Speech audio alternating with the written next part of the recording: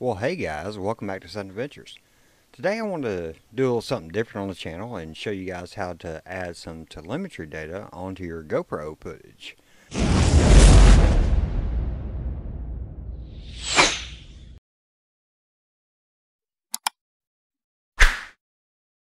So I found a little website where you can download some piece of software. It's on dashware.net. So you go to their download tab click all the terms of agreements and hit download. Once you do that, you should have the Dashware program on your computer. So you'll double click on the Dashware software. And once it comes up, uh, you'll notice nothing's over here on the right side. It's blank over here because you've not added anything yet. So we're going to go down here and add some footage from a GoPro video I did uh, going out to lake number three uh, on the Ocoee River. So this is my trip in the truck out there. As soon as we add it, there we go, the process has started. So it extracts your GPMF data, which is your GP, GPS data basically. And once it's done, it's going to add that data file over here. So now it's going to show you your your data file and it's going to show you your GoPro is the data file. Now, if you have another device that you're using, you can go down and click that if it did not recognize it. But we're just sticking to GoPro today. So we'll hit add. So now your CSV file is over here and you can see the GoPro is what that CSV file means. Now I'm going to take this down and go ahead and maximize this. So let's start off with the uh, project gauges. So it automatically loads these several project gauges. So you got your GoPro logo. You got your GoPro stat box here. You got your speed chart right here. You got your map over here on the left side.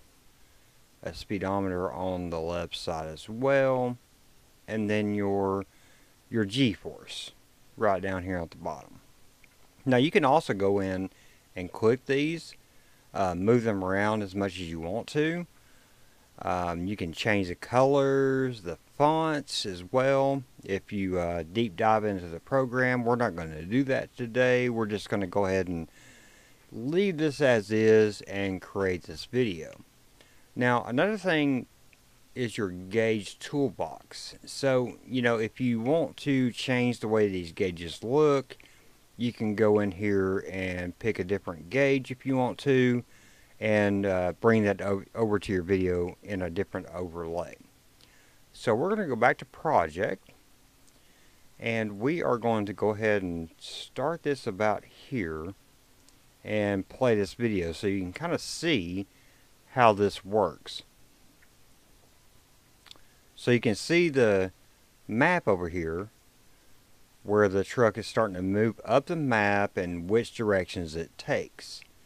Down here you can see the mile per hour that the truck is taking and the g-force that the truck is making.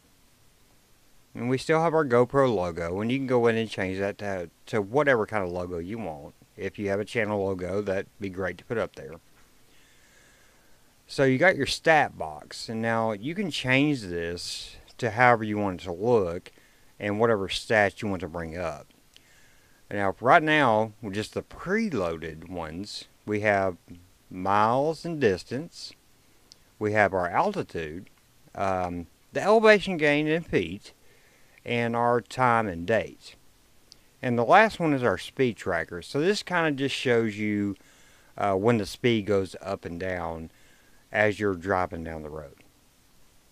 Okay guys, so we got the video the way we want it. We got all of our overlays in. So we're going to go simply go to File and go down to Create Video.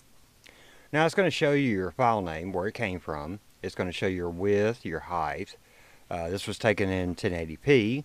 Uh, shows your bit rate, your frame rate, which this was taken in 30 frames per second. And you can pick where you want your file to go to after you've created this video. So we're going to hit Create Video and it's going to start the create video file. It's going to give you a elapsed time. It'll give you your total time um, to create this file. So one thing I did want to show you is I've got my task manager pulled up here. Now this program is completely uh, CPU bound.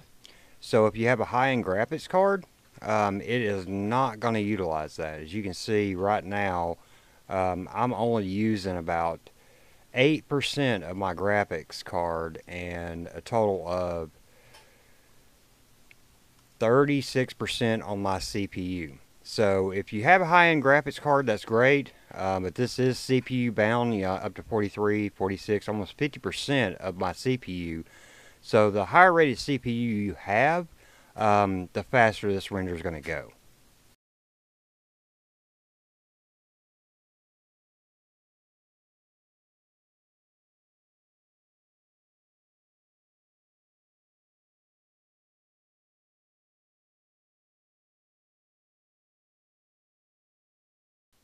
Alright guys, so our video rendering is complete. So we'll just simply hit OK. And we'll go to the source footage of that video. Alright guys, so I got all this put together now. So on the top left we have our destination. On the bottom left we have our mile per hour and compass. And right next to that we have our G-force. Over on the right side we have our speed tracker, which just goes up and down as speed creases. So on the right side in the middle, we have our miles, which is 0.7, 0.8. Our altitude is 1900 feet. Our elevation gain is 137 feet, and the time. And above that, we have our GoPro logo. Alright guys, so for the rest of this video, I am just going to let this play out so you can see how all this telemetry data works out.